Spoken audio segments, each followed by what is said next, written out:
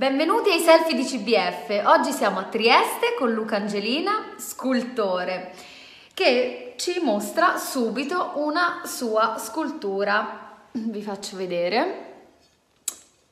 Guardate, è abbastanza particolare. Adesso lui stesso ci spiegherà. Guardate, ci sono anche dei piccoli dettagli che possono sembrare fatti a caso, in realtà assolutamente no. Luca, intanto spiegaci di, di che materiale è fatta questa scultura. Intanto buonasera a tutti, questa scultura è fatta in creta, in terracotta. Eh, in questo caso terracotta base perché ce ne sono, ci sono vari tipi di terracotta e mm, una terracotta appunto base, insomma, argilla. Ecco. Ma eh, cosa rappresenta?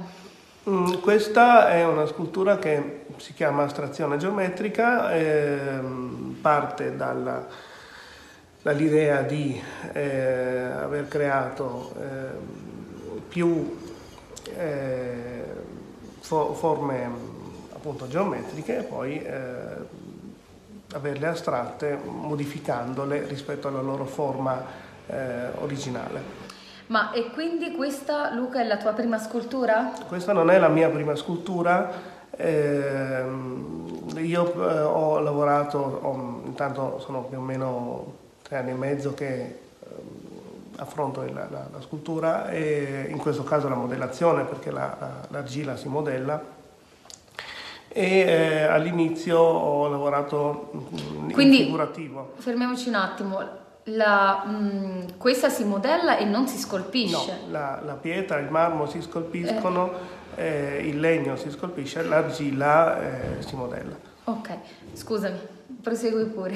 Ehm, all'inizio eh, io ho cominciato mh, facendo un corso, avendo partecipato a un corso a, a Firenze, eh, di, di, scultura figurativa, cioè ehm, della, di, come realizzazione della figura, eh, in questo caso figura umana, o comunque cose eh, reali, nella loro forma reale, eh, non, non, astratta.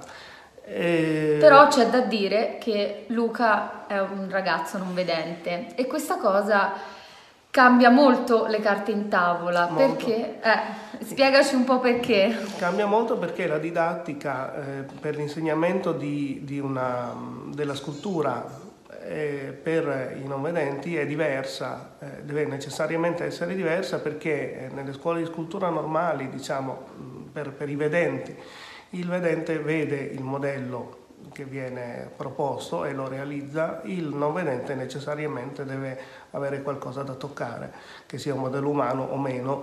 Eh, quindi, quindi, è proprio un approccio, un tipo un approccio di didattica diverso. completamente diverso. Sì, anche perché il, il non vedente per, per, esempio fa caso, anche in, in, scultura, in scultura o modellazione, fa caso a molti dettagli anche di superficie per esempio delle sculture eh, che l'occhio non vede.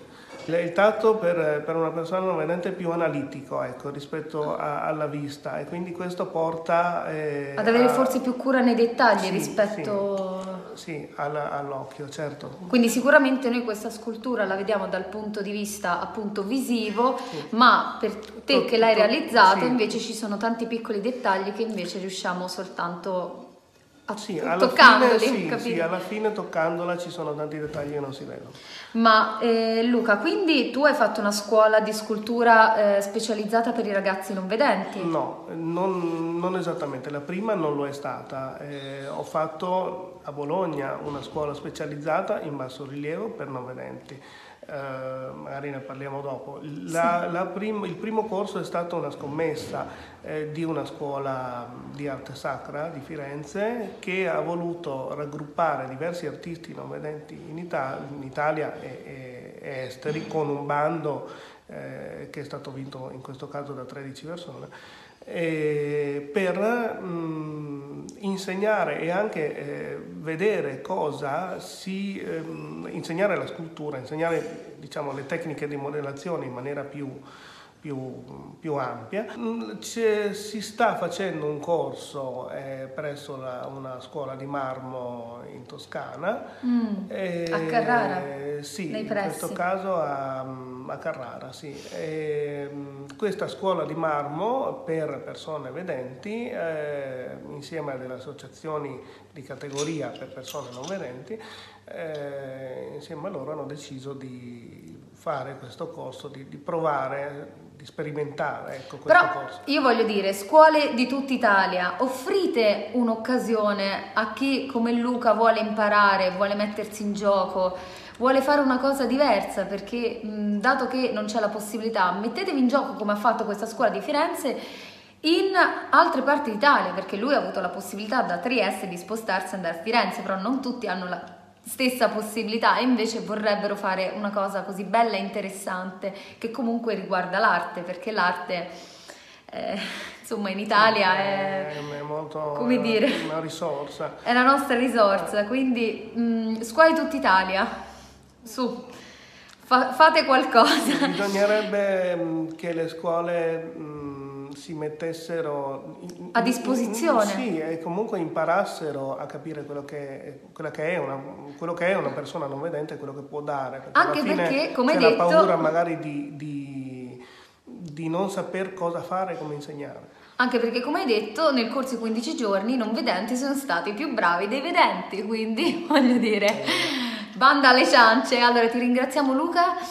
per essere stato nella mia trasmissione e vi ricordo di seguirmi sui social, ma non solo, anche Luca ha un blog e la sua pagina Facebook, quindi seguitelo. Sculturalmente, il blog si chiama sculturalmente.blogspot.net Ecco. No, .com, anzi. ecco, vedi, la scultura gli è data alla testa, forse le donne, eh, chissà.